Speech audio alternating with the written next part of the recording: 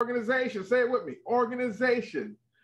Your passion led you here. Yes, your passion led you here. So I want you to, when you're talking about having the 10 keys to unlock your full career uh, potential, you need to be organized. You need to see what's going to be before you. What are you passionate about? What is that thing that is driving you? What gets you up in the morning to start your day? I had a conversation with someone this morning, and he was telling me about when he gets up, he thanks someone in particular just for getting on his feet in the morning. Because he realizes that just by getting on your feet, there's so many people that didn't have that opportunity.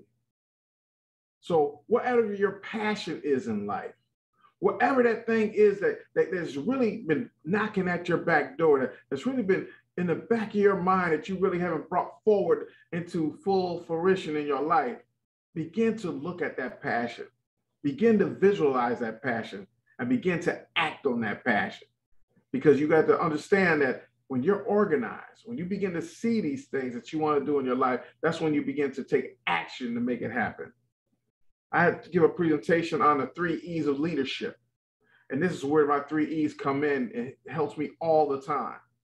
The first E is execute. Execute. The next E is empower. And the last E is excel. You see, when you execute on anything you want to do in life, it will empower you to do it at better level, and then you will excel to higher heights.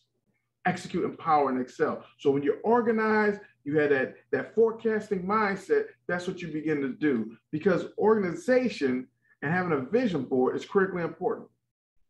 I usually in my training, I have done this training in the past, and I put my my true vision board up, but I, I can't do. I, I got to stop doing that all the time. Everybody don't need to know all my business. So so what I did was I just got a sample vision board, and it could be like this. You got different types of vision boards to help you be organized. But this vision board is talk about different things that they want to accomplish different places they want they see themselves, different things they want to do. But also you get more detail, like my vision board, I look at daily. My vision board, I talk about what exactly I'm going to do right now this month, what I'm going to do next month, how I forecast my finances, how I forecast all the various different things for my business and other activities I'm part of.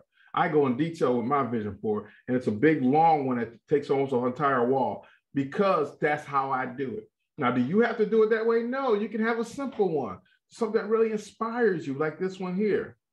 But a vision board is critically important because it helps you forecast where you want to be. If you see yourself in that C suite position, put it on a vision board. If you see yourself in a new position, put it on a vision board. What are the steps necessary in order to get you there? How are you going to do it? What's going to what's the things that are going to prevent you? How will you overcome those things? Have it on there. Be very clear and concise about that.